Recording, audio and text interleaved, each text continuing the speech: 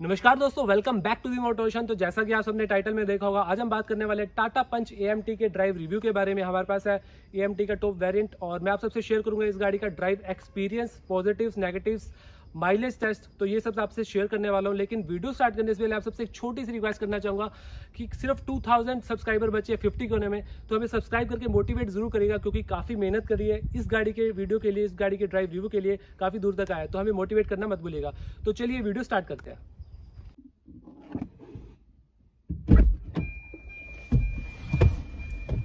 तो स्टार्ट करते हैं इसके ड्राइव रिव्यू से। यहाँ जो सबसे पहली चीज़ जो मैंने नोटिस किया वो है इसका सीटिंग कंफर्ट जो ड्राइवर सीट है, वो काफ़ी ज़्यादा कंफर्टेबल है।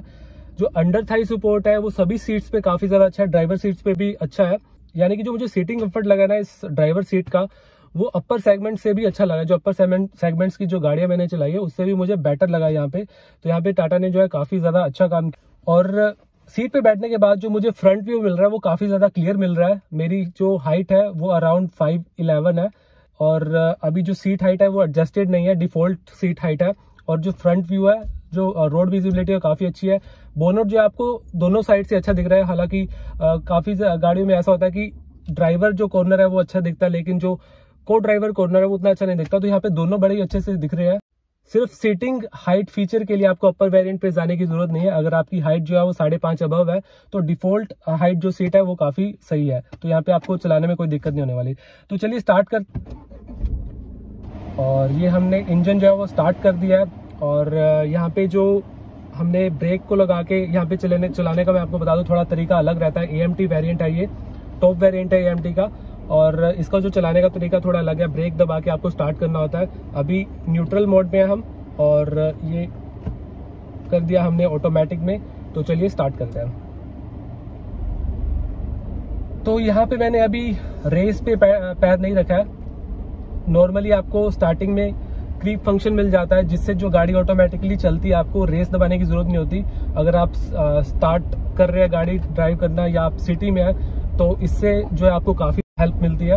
तो बात कर लेते हैं इंजन की। तो यहाँ पे जो हमें इंजन मिलता है 1.2 लीटर पेट्रोल रेवोटॉन इंजन मिल जाता है, जिसमें हमें मिलती है 86 पीएस की पावर 113 एनएम ऑफ़ टॉक और ये इंजन जो है, वो हमें डायनाप्रोनो टेक्नोलॉजी के साथ मिल जाता है, जिसमें जो आपकी स्पीड है ज़ीरो टू सिक्सटी वो काफ़ी जल्दी कवर कर लेती है गाड़ी।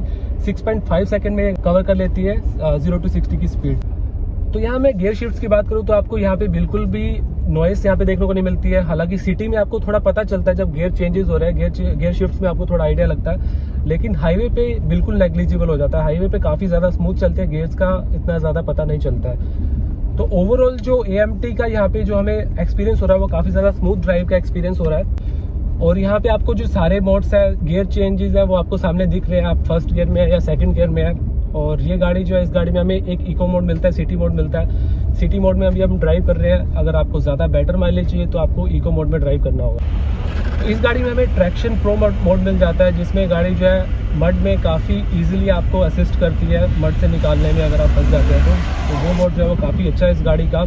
और इस गाड़ी में हमें फ़र्स्ट इन सेगमेंट ब्रेक्स पे कंट्रोल मिल जाता है जिसमें आपकी गाड़ी जो है ब्रेकिंग के टाइम बिल्कुल भी डोलती नहीं है।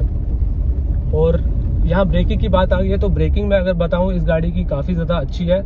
बिल्कुल जो है एंड टाइम पे बिल्कुल गाड़ी जो है रुक जाती है। प्रोग्रेसिवली जो है यहाँ पे ब्रेक्स लगती है। तो for traffic definitely M T is good अगर आपकी सिटी में काफ़ी ज़्यादा ट्रैफ़िक रहता है, आप सिटी में ड्राइव कर रहे हैं ज़्यादा गाड़ी तो आपके लिए एएमटी जो है वो काफ़ी बेटर रहेगी। और वाइब्रेशन की बात करूँ तो यहाँ पे वाइब्रेशन जो है वो बिल्कुल हमें फील नहीं हुई इस गाड़ी में चलाते हुए।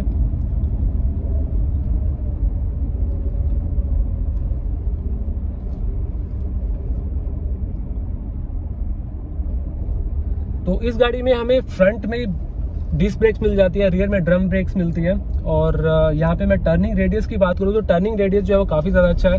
आपको काफ़ी कम स्पेस में अच्छे से गाड़ी टर्निंग का एक्सपीरियंस मिलता है।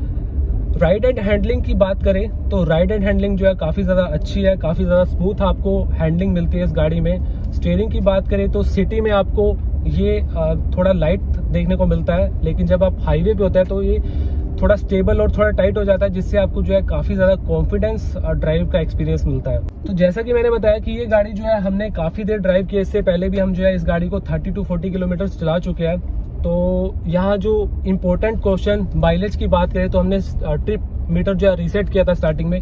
तो हमें जो माइलेज मिली थी, वो 17.5 के आसपास मिली थी। हालाँकि मीटर में 16 प्लस शो हो रही है ये तब की है जब हमने इस गाड़ी को काफ़ी रफली चलाया, काफ़ी देर तक हमने इसे ऑफ़ रोड पे चलाया और उसके बाद हमने हाई स्पीड पे ब्रेकिंग टेस्ट किया। तो उस टाइम पे जो है माइलेज रेड्यूस हुई है। तो यहाँ पे आप देख सकते हैं कि सिक्सटीन प्लस की जो माइलेज है, हमें वो मिल चुकी है।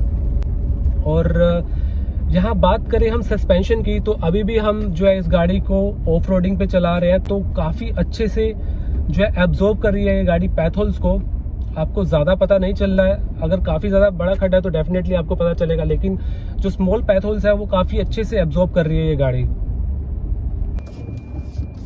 तो यहाँ रियर तो यहाँ मैं बैक गियर की बात करूँ तो बैक गियर जो है काफ़ी जल्दी एक्टिवेट हो जाता है, काफ़ी स्मूथ है। और एक चीज़ मैं आपको बता दूँ कि इस गाड़ी को चलाते हुए आपको विजिबिलिटी की दिक्कत नहीं आने वाली है, खासकर ए पिलर्स की वजह से। जो ए पिलर्स की वजह से कुछ गाड़ियों में आपको ब्रोडर मिलता है ए पिलर तो जिसकी वजह से जब आप गाड़ी को टर्न करते हैं तो आपको विजिबिलिटी में दिक्कत आती है। लेकिन यहाँ पे आपको वो प्रॉब्लम बिल्कुल भी नहीं आने वाली है। तो यार नॉइस की बात करूँ तो ये गाड़ी जो हमने काफ़ी देर तक हाईवे पे चलाई है, और जो विंड साइड नॉइस है, वो हमें बिल्कुल भी देखने को नहीं मिली इस गाड़ी में। हाई स्पीड पे हमने जब गाड़ी चलाई, तब भी बिल्कुल भी पता नहीं चला। और यहाँ पे मैं रोड साइड नॉइस की बात करूँ तो टायरों से आपको बिल्कुल भी आवाज़ नहीं आने वाली है, ना ही हाई स्पीड पे और ना ही लो स्पीड पे। इसके अलावा टाटा ने जो काफ़ी अच्छा काम किया है, वो इंजन साइड से जो नॉइस है, वो बिल्कुल नेग्लिजिबल है। काफ़ी अच्छा जो है यहाँ पे रिफाइनमेंट किया टाटा ने। तो चलिए बात कर लेते हैं प्रोज एंड कौन सी की क्या हमें पॉजिटिव लगे, क्या नेगेटिव लगे। तो आपको बता दूँ कि जो पॉजिटिव है, वो इसमें काफ़ी अच्छे हमें फीचर्स मिल जाते हैं। एरा कनेक्टेड टेक्नोलॉजी मिल जाती है ट्रैक्शन प्रो मोड मिल जाता है एएमटी में। और सीटिंग कंफर्ट जो है वो काफ़ी ज़्यादा अच्छा है माइलेज अच्छी मिल जाती है। तो ओवरऑल हमें ए में ये काफ़ी अच्छा पैकेज मिल जाता है। तो ये सारे हमें जो है पॉजिटिव लगे और यहाँ नेगेटिव्स की बात करूँ, वो ये कि अगर हम इस गाड़ी के फ्रंट डिज़ाइन की बात करें तो ये टाटा की बाकी गाड़ियों की तरह थोड़ा मिलता जुलता है, जो कि शायद चेंज करते तो बेहतर होता। बाकी आप हमें कमेंट करके ज़रूर बताइए कि आपको कैसे लगा इसका फ्रंट डिज़ाइन और क्या बाकी गाड़ियों की तरह सिमिलर होना चाहिए था या फिर नहीं? और दूसरा जो कौन हमें लगा वो ये कि इस गाड़ी में हमें डीजल इंजन ऑप्शन देखने को नहीं मिलता। तो चलिए बात कर लेते हैं कि क्या ये गाड़ी आपको खरीदनी चाहिए या फिर नहीं। तो ये गाड़ी जो एक कंप्लीट पैकेज है फीचर्स का सेफ्टी का माइलेज का तो डेफिनेटली आपको ये गाड़ी जो है वो खरीदनी चाहिए क्योंकि इस प्राइस रेंज में, इस सेगमेंट में ये गाड़ी जो है हमें बेस्ट सेफ्टी और बेस्ट फीचर्स का कम्बिनेशन प्रोवाइड करती है। तो ये था टाटा पंच का ड्राइव एक्सपीरियंस जिसमें मैंने आप सबसे शेयर किया माइलेज पॉजिटिव्स नेगेटिव्स क्या है आपको गाड़ी खरीदनी चाहिए या फिर नहीं। तो वीडियो अच्छी लगी तो सब्सक्राइब करना बिल्कुल भी मत बोलेगा तो मिलते हैं जल्दी अगली वीडियो के साथ। So thank you guys for watching this video thank you जय हिंद